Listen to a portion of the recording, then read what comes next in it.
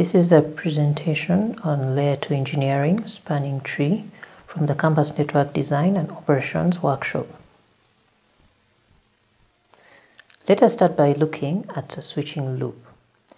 In this diagram, we have three switches, switch A, switch B, and switch C.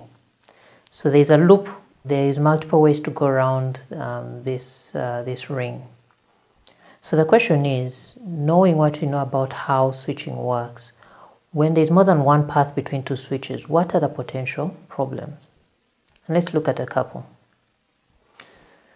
If there's more than one path between two switches, the first problem is your forwarding tables are going to become unstable. So remember switches work by recording which port they saw a source MAC address coming from so that if they see a packet going to that destination, they know which port to send it out through. But if you have a loop, then a particular packet from a particular source could come from more than one port. And then the switch has to keep updating its MAC address table. And if there are lots of devices, then the switch is spending a lot of time updating MAC address tables. Secondly is switches will broadcast each other's broadcasts and this can quickly utilize all the available bandwidth and also the switch processors cannot handle the load. In cases where the switch processor is also the main processor for control, it means that you cannot even log into the switch to shut it down or shut down the port. Let us look at a detailed example of how this broadcast storm works. So in this diagram, we have three switches, switch A, switch B, and switch C.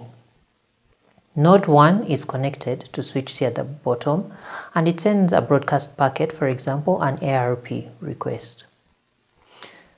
Because it's a broadcast packet, meaning the destination MAC address is all Fs, switch C is going to broadcast the node 1's frame out of every port except the one it received it on where node 1 is. When switch A and switch B each receive this broadcast, they are going to send it to each other.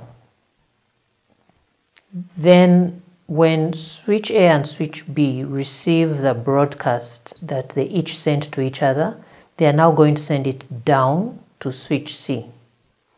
Switch C receives both broadcasts from switch A and switch B and sends two copies down to node 1 and then a copy of switch A to switch B and a copy of switch B to switch A. So now we have two sets of packets going around.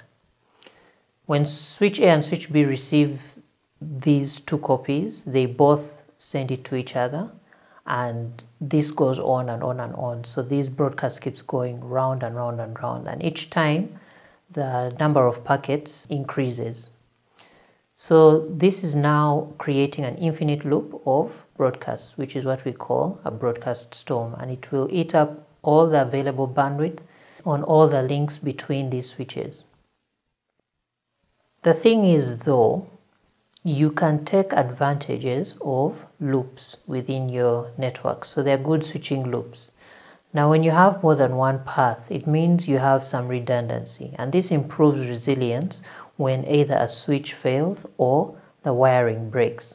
Um, for example, maybe the cable gets cut if it's fiber. So the question is, how do we achieve redundancy without creating dangerous traffic loops? And the answer, of course, is this presentation's topic, and that is spanning tree.